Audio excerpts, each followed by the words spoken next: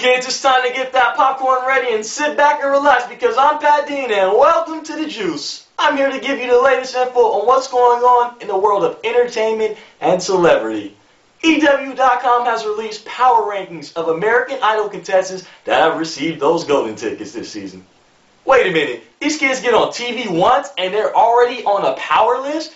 Wait a minute, do they think this is the NBA or the NFL? Think I'm to start my own power list. The Academy announced Oscar nominations this morning. Ellen, Casey, Clooney, and Kate are all up for the Little Naked Golden Man. Battling it out for Best Picture, Atonement, Juno, Michael Clayton, No Country for Old Men, and There Will Be Blood.